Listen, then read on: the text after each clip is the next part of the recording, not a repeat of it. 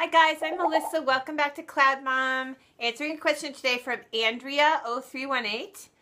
Is it okay to swaddle nighttime and naps? I'm having hard time with naps with my two-year-old. Great question. You are right in my most favorite area of discussion, which is babies and breastfeeding and sleeping and nursing and how to take care of babies. And here's what I do with my babies, and I hope it's helpful. I treated naps like a mini bedtime. I really did in all ways, which meant that I did swaddle my babies at two months old, and I had them in the crib. I had the blackout shades. I had the whole kit and caboodle. Now, a lot of people don't agree with this. They think that for naps, you should have the drapes open and you should get the baby used to sleeping in the daylight.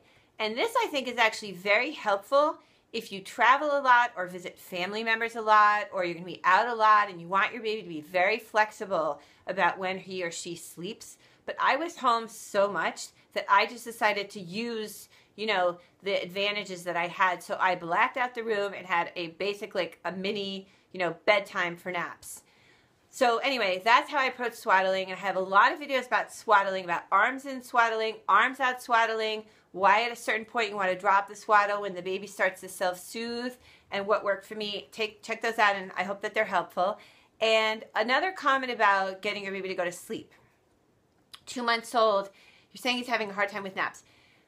Pick your baby up out of the crib. Make sure your baby doesn't need to burp. Sometimes one little burp can be keeping that baby from going to sleep. That aside, see if your baby wants just a little bit more breast milk or bottle I had times where five seconds worth of breast milk and they were done and they were gone and they napped for two hours.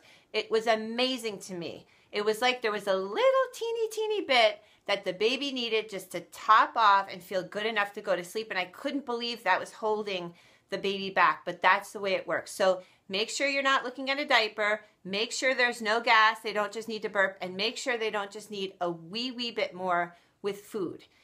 Um, one other comment, and I did talk about my swaddling videos. You say you're having trouble with the naps and the swaddle. Is baby getting out of the swaddle? Look at that whole thing and see where your baby is. Some babies are so active with their arms that they're really fighting the swaddle, and you might decide to move to an arms out swaddle. That might be more helpful, and you might see that the baby's starting to find a finger, or a thumb, which will help them sleep better during the night. So anyway, hope all of this is helpful. Thank you so much for writing into Cloud Mom. I really appreciate it. Best of luck with your beautiful, beautiful baby and see you next time.